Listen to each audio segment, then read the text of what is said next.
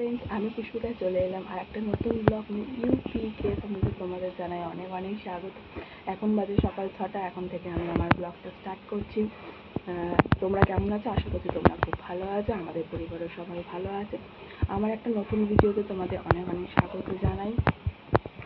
এখন হচ্ছে গিয়ে আজকেও একটা নতুন রেসিপি বানাবো। রেসিপিটা কীরকম হয় সেটা প্রথম থেকে শেষ পর্যন্ত কিন্তু ভিডিওটা অবশ্যই দেখতে হবে।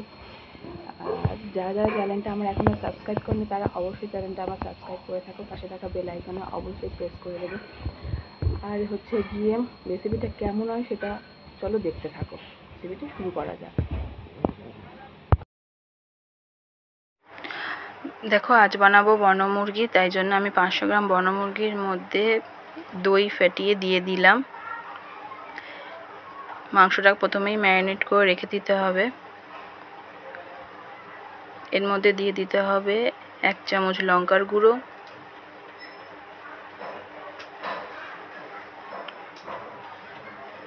এক চামচ জিরে ধনে গুঁড়ো।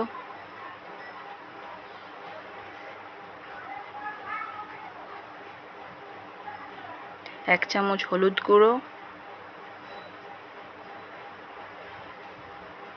স্বাদ অনুসারে নুন। আর দিয়ে দেবো সর্ষের তেল।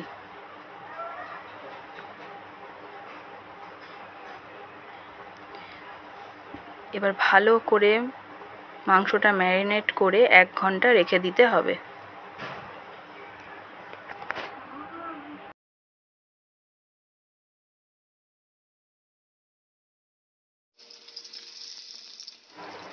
দেখো এদিকে আলুগুলো ভাজা ভাজা করতে দিয়ে দিয়েছি।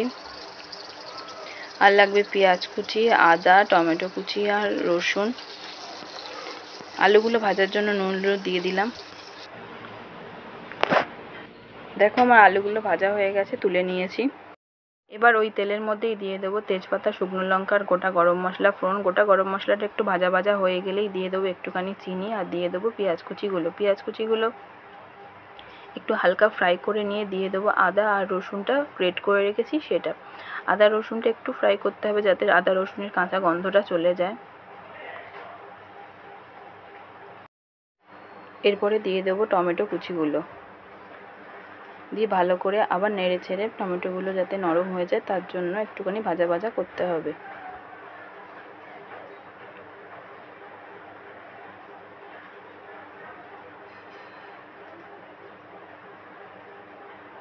দেখো টমেটোগুলো আমার প্রায় নরম হয়ে গেছে, এরপরে দিয়ে দেবো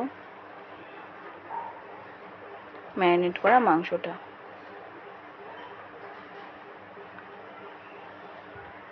এরপরে মাংসের সাথে আর পেঁয়াজ রসুন সব একসাথে ভালো করে কষাতে হবে অনেকক্ষণ ধরে।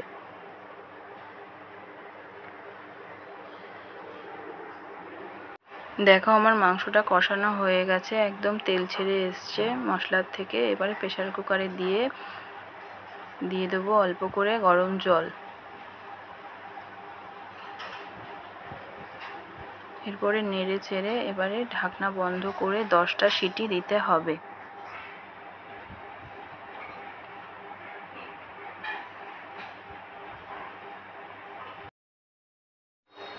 দেখো, আমি ঢাকনা বন্ধ করে গ্যাসে বসিয়ে দিয়েছি।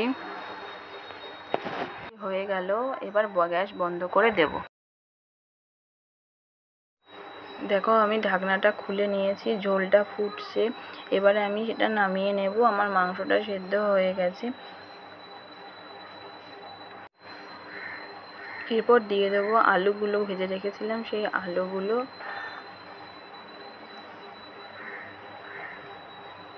আর অল্প করে প্রেশার কুকারটা ধুয়ে জল দেব।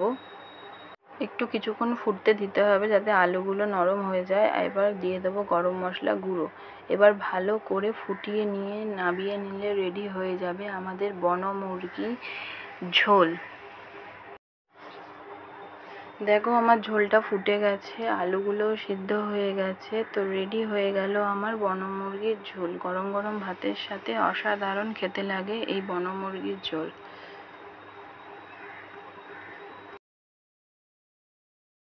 তো বন্ধুরা দেখে নিলে আমার চিকেন রেসিপিটা এটা হচ্ছে বনমুরগি বনমুরগি তোমরা এইভাবে রান্না করবে। খুবই সুস্বাদু লাগে খেতে। আর হচ্ছে কি যে, এরকম নতুন নতুন ভিডিও পাওয়ার জন্য আমার চ্যানেলটা অবশ্যই সাবস্ক্রাইব করে ফেলো। আর পাশে থাকা বেল আইকন অবশ্যই প্রেস করে দেবে। নোটিফিকেশান অল করে দেবে। তাহলে আমি যখনই ভিডিও আপলোড করব, তখনই তোমাদের এই ভিডিওগুলো তোমরা তখন নোটিফিকেশান পেয়ে যাবে। ভালো লাগলে একটা লাইক করবে। ভিডিওটা আমি এখানেই শেষ করলাম। নমস্কার। দেখা হবে আবার একটা অন্য কোনো দিনে, অন্য কোনো ভিডিওতে টাটা।